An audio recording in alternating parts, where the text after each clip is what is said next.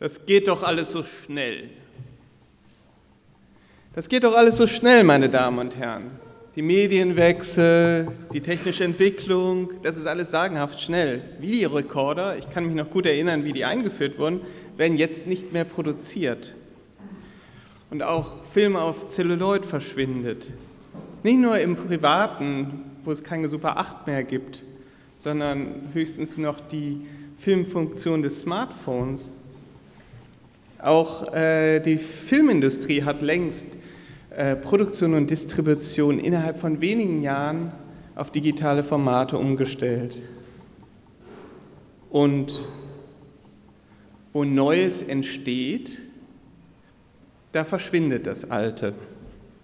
Kopierwerke werden geschlossen, bestimmte Formate werden nicht mehr produziert. Und das nicht nur beim Film.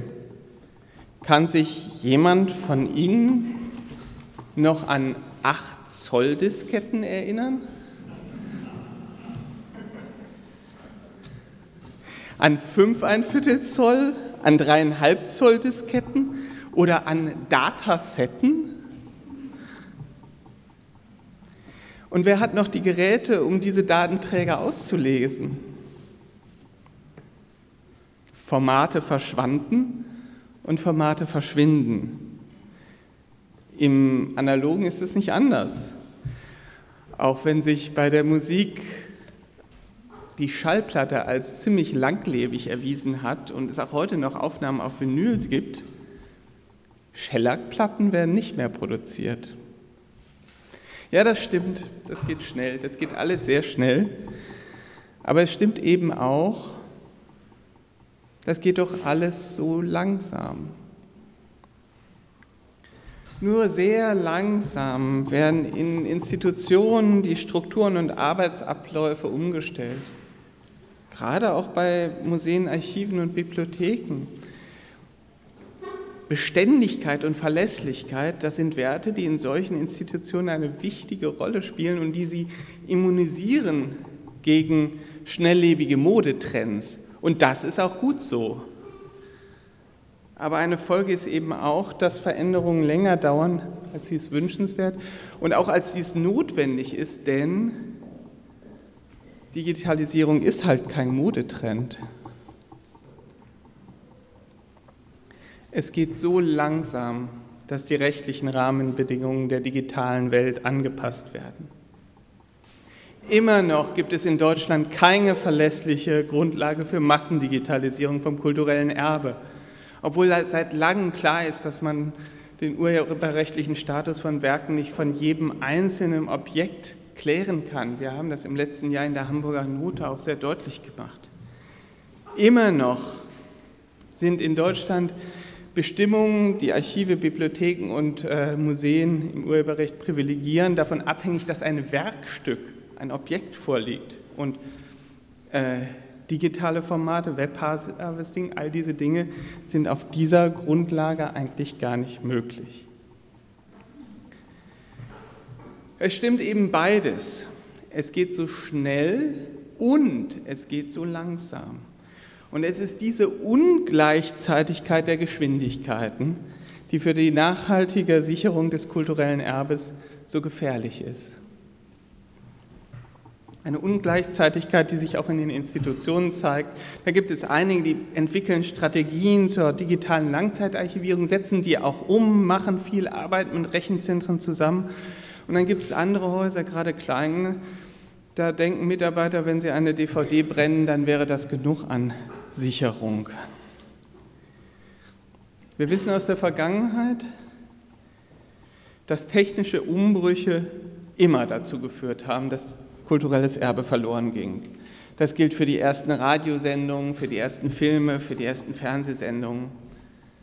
Aber verglichen mit dem, was mit diesem schillernden Begriff der Digitalisierung beschrieben wird, waren das diese technischen Entwicklungen immer von sehr äh, begrenzter Auswirkung. Digitaltechnik dagegen, das betrifft alle Lebensbereiche. Und kulturelles Erbe auf digitalen Medien ist fragil.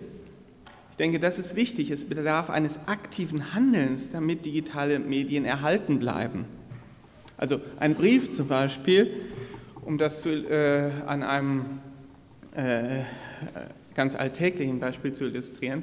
Ein Brief, der bleibt erhalten, wenn man ihn nicht zerstört, wenn man ihn nicht verbrennt oder äh, äh sonst etwas damit macht. Eine E-Mail nicht. Bei einer E-Mail muss man aktiv handeln, damit die auch in 10, auch in 20, auch in 50 oder 100 Jahren noch gelesen werden kann. Beim Verhältnis eines Buches zu einer Webpublikation ist das ähnlich. Zitate aus Webressourcen lassen sich oft nach kurzer Zeit schon nicht mehr nachvollziehen, weil angegebene Links tot sind. Wird aus Büchern zitiert, so gibt es Bibliotheken, wo man diese Bücher finden kann. Doch wer archiviert das Internet? Das ist eine Frage, über die wir auf dieser Konferenz diskutieren werden. Wer ist für die Archivierung zuständig? Was wird überhaupt archiviert? Und wer bestimmt die Auswahl? Und noch eine Frage, wo wird überhaupt archiviert? Können und sollen wir uns darauf verlassen, dass das in den USA schon irgendwie gemacht wird, nur weil wir in Europa es nicht schaffen, die dafür notwendigen rechtlichen Rahmenbedingungen zu schaffen? Es ist wichtig, dass wir angesichts dieser schnellen Entwicklung innehalten, uns unsere Aufgaben, Ziele und unseres Selbstverständnisses vergewissern und klar benennen, was jetzt getan werden muss. Was sind die organisatorischen, was sind die technischen Voraussetzungen für Nachhaltigkeit? Welche Rolle spielen Standards? Wie wirkt sich die Kurzatmigkeit von Projektfinanzierung aus, wenn es darum geht, langfristige, nachhaltige Strukturen zu etablieren? Und das ist eine Frage, die ich an die Kulturpolitiker, an die Verantwortlichen für öffentliche Finanzierung richte. Merken Sie eigentlich, dass es ein Widerspruch ist, digitale Langzeitarchivierung in zeitlich befristeten Projekten zu fördern? Dass man eine deutsche digitale Bibliothek nicht aufbauen kann, wenn man, deren Finanzierung Jahr und Jahr in Frage gestellt und neu begründet werden muss? Können oder gar sollen Gedächtnisinstitutionen in Zeiten der ubiquären Verfügbarkeit weiter um Kontrolle kämpfen, Kontrolle darüber, wer und zu welchem Zweck kulturelles Erbe nutzen kann? Oder sollen sie umgekehrt Digitalisierung als Chance dafür begreifen, dass kulturelles Erbe möglichst ganz weitgehend in die Gesellschaft zurückwirken kann? Sollen sie, um das an einem Beispiel klarzumachen, Wikimedia verklagen, wie es das Reichs-Engholm-Museum getan hat? Oder sollen sie mit Wikimedia zusammenarbeiten, wie das die meisten Institutionen machen, die hier diese Konferenz tragen und auch äh, Wikimedia gehört ja dazu. Diese zwölf Institutionen, wir haben sie hier zusammengefasst, die diese Konferenz veranstalten, bilden ein ganz breites Fundament für den notwendigen Diskurs über diese Fragen. Nur weil sie alle dazu beigetragen haben, kann diese Konferenz überhaupt stattfinden. Ich bin auch sehr dankbar für die gute Zusammenarbeit in der Vorbereitung und natürlich einen besonderen Dank an die Stiftung Preußischer Kulturbesitz, deren Gast wir nun schon zum zweiten Mal sind, und an den Hamburger Bahnhof. Dankbar bin ich auch für die Förderung durch das Land Berlin.